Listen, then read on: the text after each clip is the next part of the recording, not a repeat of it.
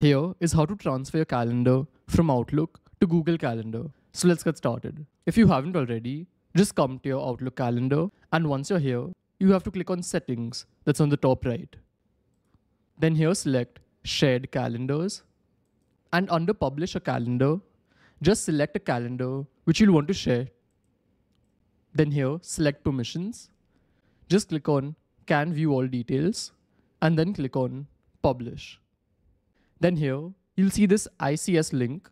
So just click on it and then click on copy link. And now it's done. So now the next thing to do is open your Google Calendar. I'll do that now. Then below over here, next to other calendars, just click on the plus button and then click on from URL. Over here, just paste the link which you had copied and then click on add calendar.